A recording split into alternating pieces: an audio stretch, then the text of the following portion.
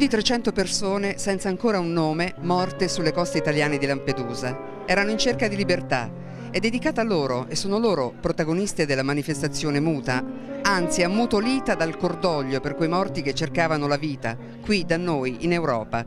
La tragedia di Lampedusa si aggiunge a decine di altre, una somma spaventosa che si registra proprio nel Mediterraneo. CGL e Cisle Will, unite nel segno del cordoglio, solidarietà, sono raccolte davanti alla prefettura di Prato per manifestare come fanno oggi molte persone in altrettante città italiane. Il mondo del lavoro si mobilita testimoniando la volontà di soluzioni concrete sul tema degli sbarchi che realizzino quel bene comune negato dalla globalizzazione dei mercati e dalla mercificazione delle persone. Mobilitazione nazionale per portare avanti le nostre proposte, ma non credo che siano solo quelle del sindacato, credo che ormai in Italia si stia sviluppando una coscienza su questo.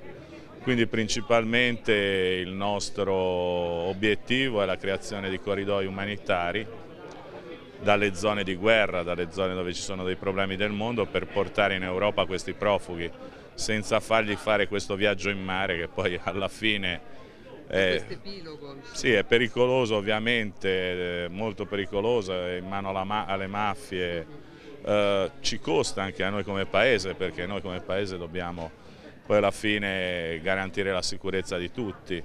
Eh, quindi secondo noi l'ipotesi migliore, la, la, proposta migliore è quella della creazione di corridoi umanitari. Anche lo stesso Letta che parlerà tra qualche giorno con l'Unione Europea dirà che è un problema dell'Europa, non dell'Italia. Sì, però questo non deve essere un alibi eh, per l'Italia. Cioè l'Italia è un grande paese, è un paese in questo momento di frontiera, si deve prendere le sue responsabilità, quindi anche il paese secondo me, anche se l'Europa non eh, starà in disparte, deve prendere delle decisioni. Parlare dello Ius Soli anche oggi, sottolineare questo, il diritto di cittadinanza, non è sbagliato. No, non è assolutamente sbagliato, noi pensiamo sia un, un, dovere dare un futuro a queste persone che nascono in Italia, vivono in Italia, parlano italiano e, e purtroppo per, una, per un eh, per un motivo eh, mm, burocratico non riescono a espletare il loro, loro diritto di cittadinanza giu, giusto a nostro avviso. Eh, noi pensiamo che la regolarizzazione degli immigrati sia la, la, una, una, cosa importante per poter far sì che eh, possa emergere il lavoro nero e poi eh, bisogna sfatare anche molti miti perché molti dicono che gli immigrati costano, gli immigrati regolari eh, il saldo tra, tra, servizi presi e contributi versati è, positivo per circa 1 miliardo e 700 mila euro. Penso sia un dovere mettere insieme anche ai controlli che devono essere giusti e, e, e rigorosi una soluzione definitiva al problema dell'immigrazione eh, degli extracomunitari e far sì che questo problema da un problema diventi una risorsa. Io penso sia così. Inclusione anziché esclusione, questo è un punto fermo?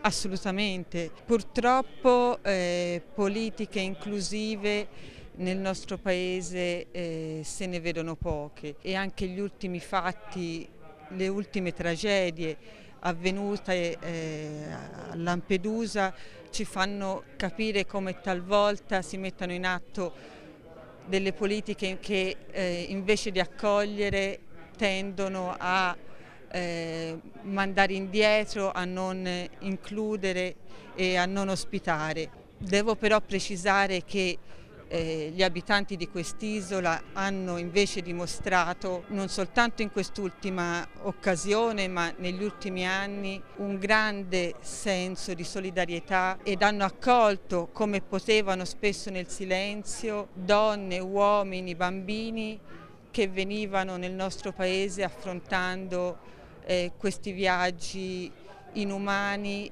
e che spesso hanno trovato la morte nel nostro, nel nostro mare.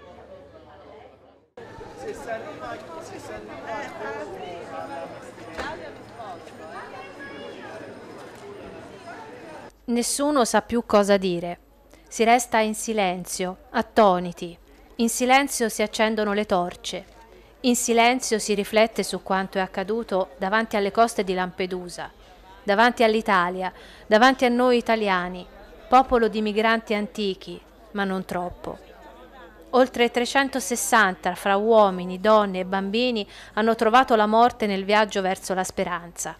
Vite spezzate da leggi ingiuste che salvaguardano la politica dell'indifferenza a scapito della difesa dei diritti e della dignità delle persone.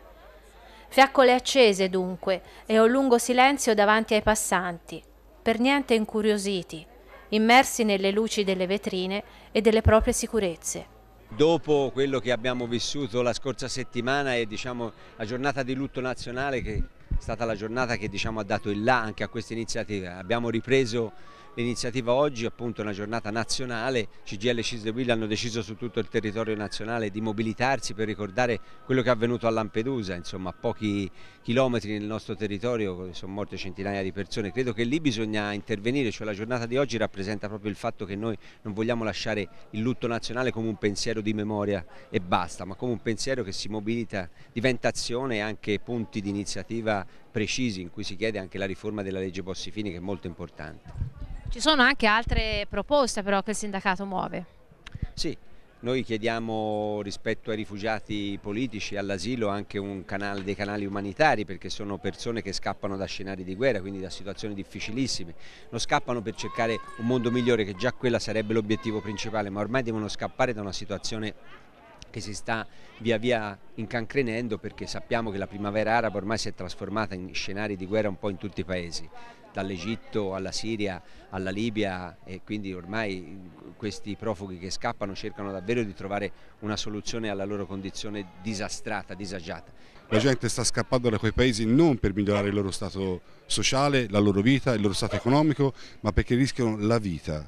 E rispetto a questo il nostro Paese, che è una democrazia matura ed evoluta, ha il dovere di intervenire, intervenire seriamente. Non può essere tutto sulle nostre spalle, la comunità europea deve fare il loro eh, il loro compito, ma è certo che la politica dell'accoglienza deve diventare una cosa importante all'interno della nostra cultura. L'Europa deve fare di più, deve produrre questi canali umanitari, questi canali che permettono a queste persone con status di rifugiati di trovare la possibilità di scappare e trovare salvezza da queste situazioni. E poi naturalmente in Italia abbiamo uno specifico, l'Europa ce l'ha chiesto, la Bossi-Fini è in civile, il reato di clandestinità che è passato in commissione, vedremo poi la discussione in Parlamento cosa produrrà, è davvero un reato per una condizione, la condizione dell'immigrato, ecco bisogna rovesciare questo paradigma, queste persone arrivano qui non certo perché vogliono commettere dei reati, ma naturalmente perché sono degli immigrati e non per questo possono essere considerati clandestini.